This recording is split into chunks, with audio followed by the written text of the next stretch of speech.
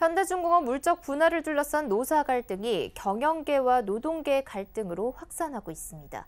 이 가운데 중소 중견기업계에서는 정부와 사용자, 노동자가 좋은 일터를 만들기에 손을 맞잡았습니다. 김혜영 기자입니다. 경제사회노동위원회에서 사람 중심의 스마트 공장 활성화를 위한 노사정 업무 협약식이 열렸습니다.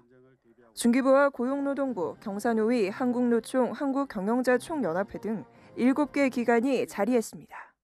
이번 협약은 제조업의 경쟁력을 높이고 노동자들의 근로 환경을 개선하기 위해 마련됐습니다. 7,900개 스마트 공장을 만들었는데 어, 이 도입 기업은 생산성이 30% 증가를 하고 고용도 평균 3명이 증가하는 그런 결과를 가져왔습니다.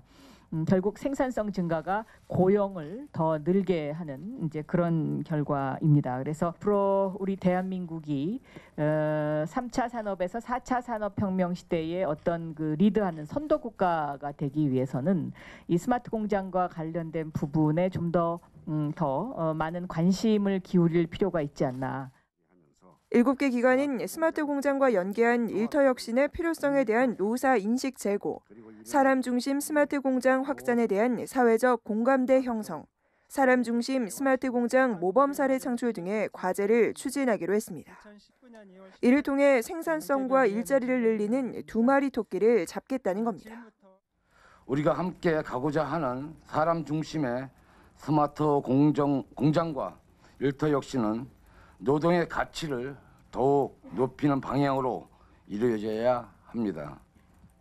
사람 중심의 스마트형 공장이 현장에 적용되고 있는 과정의 작은 변화도 노사가 함께 점검하고 협의해 나가는 노력이 필요합니다. 이른바 굴뚝산업으로 대변돼 왔던 제조업은 4차 산업혁명이라는 변화를 맞이하고 있습니다. 이 과정에서 구조조정 등으로 인한 노사 간 대립과 갈등이 확산되는 가운데 경제사회 주체들이 모여 참여한 사람 중심 스마트 공장이 공감과 상생의 노사 관계를 이끌어낼 수 있을지 주목됩니다. 서울경제TV 김혜영입니다.